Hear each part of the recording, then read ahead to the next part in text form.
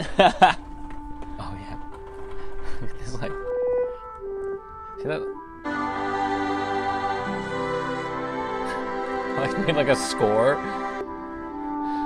Since I was like 15, 14 or something.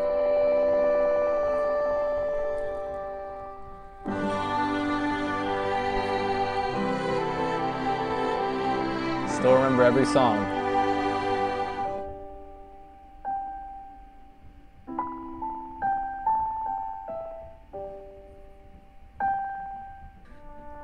Dramatic is that? Song sucks. Another bad song. I'm trying to think, where was. Wow, remember all these songs? Remember like Electric? Remember, is this Crystallized? Is this... We had a whole slew of songs we were gonna do.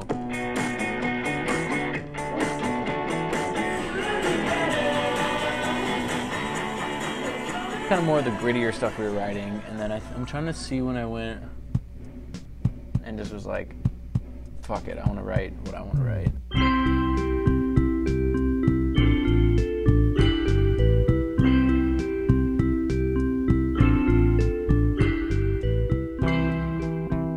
see if I can find my belt. What pants was I wearing? Um, I'm in the process of moving into this spot. It's been crazy. It's been a lot of back and forth. Yeah. Sometimes I love the fact that my life is extremely unpredictable, and sometimes it's a little bit too much. But hey, I'm never bored. Definitely never bored.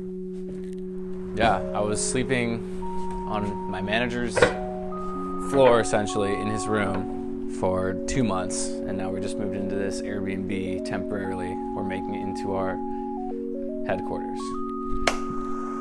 I think it took a while for me to figure out what I wanted to say, what kind of artist I wanted to be. And if you don't know, how is anyone else gonna know?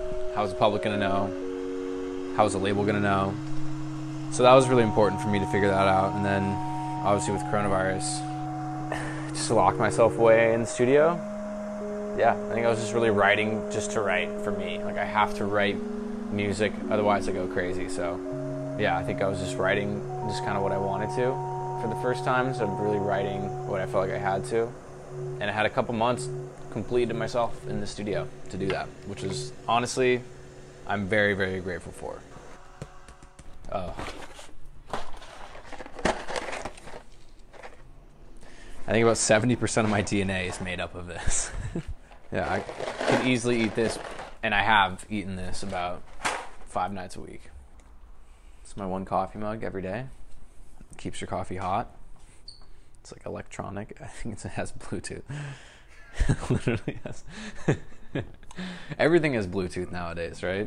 And there's an app for. Yeah, I mean, I don't know. Sometimes you just need simple, consistent things. Who's it? I think I was talking to Tom. It's like I feel like there's. I have a new idea in my head.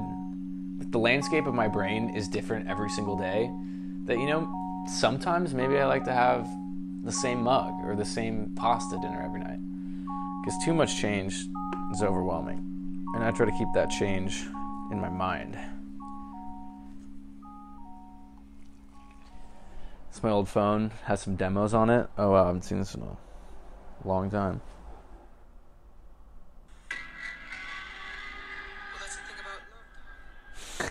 So that's that's me doing my coach version for the girl that actually sang it. One of our friends recorded that voice, but I kind of wanted him to say it in a specific way. So that was me saying it how I was hearing it in my head. I think it was me and Tom jamming on Levitate. You playing my drums? yeah. Um, yeah, actually. I'm-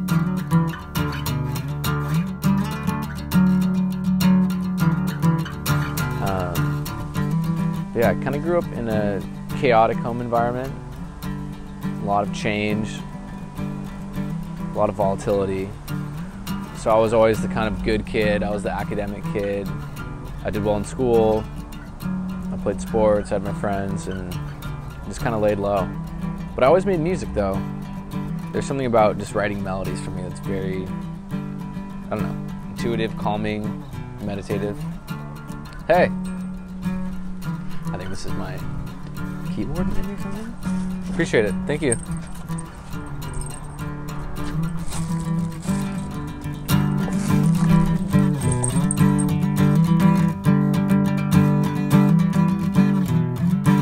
I had so much built up frustration with not being able to convey what I wanted to say, and I didn't even know that I wanted to say that at the time. So I think last year with the pandemic and everything, I was able to finally figure that out.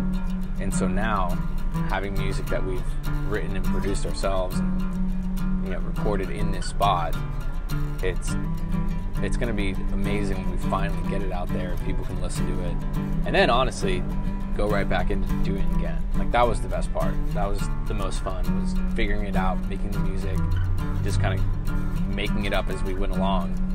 And so, yeah, it's kind of funny. As exciting as it is to release this new music, and excited as I am, really the best part is going to be doing it again, making the next album, making the next single. So. That's it.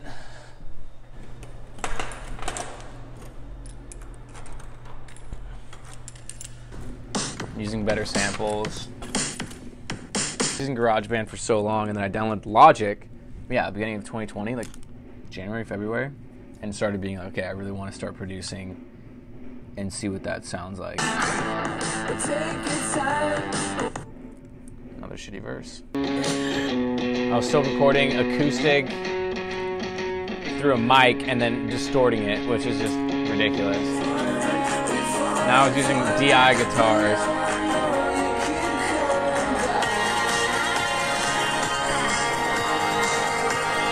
Yeah, it's a cool melody lead line. Now I'm doing some synth stuff.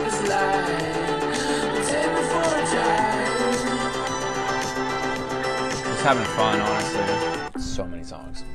And 99% of them no one will ever hear, which is good. A lot of what is going to be on the album was written towards the end. It's more rock, and then it slowly gets more like alternative, and now I'm like kind of going all pop, but it's just expressing what's in your head in this form. But even, I mean, even Stay the Night. Let me see where it got written. I always call them different. They're never the titles because I never know what's going to happen. So I give it some just random title, which makes it finding it later a lot harder. Oh, The Night. Maybe that's what I called it initially. Let's say. I think this is the original one. Oh, yeah, this is it. So I think I had two versions. I think I was trying to rip off Mean It by Lauv. I'll, I'll steal lyrics as temporary placeholders and then write around that or write melodies around it or something. So that was the bridge. And then this is the old chorus.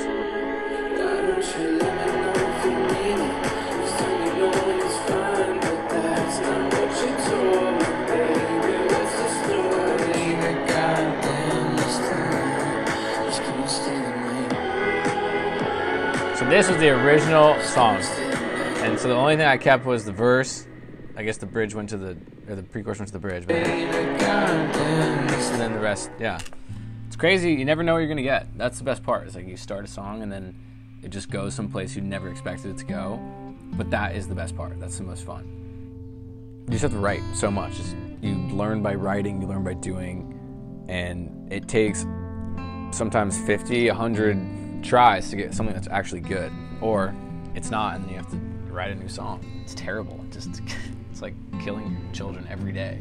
It sucks, but I'm also addicted to it. Can't do anything about it. I never thought about it actually that way, but it's like it definitely feels like an obsession, like an addiction. But I also love it.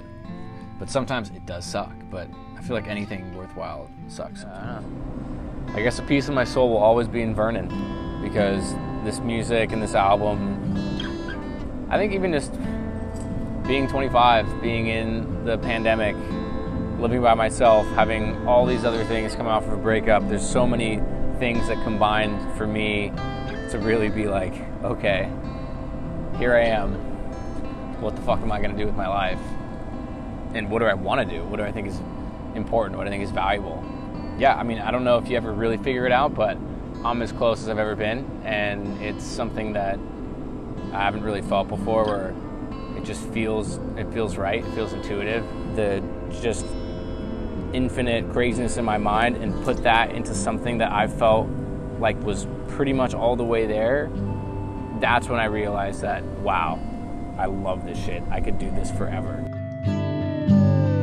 This is literally day one, which is crazy, but it's fun, and that's like the best part. Yeah, I mean, it also doesn't hurt having your best friends be in your band and support you and put up with all your crazy shit. Because, uh, yeah, I don't know. An artist, I guess, is a blessing and a curse because you see things so clearly in your mind and your eye and if it's not that way in reality, you can either make it that way, which is the best part, or you can't, which is the worst part. And then you have to live with that. And only you know. It's a personal hell or a personal heaven. I guess it's probably both. Maybe that's life. I don't know.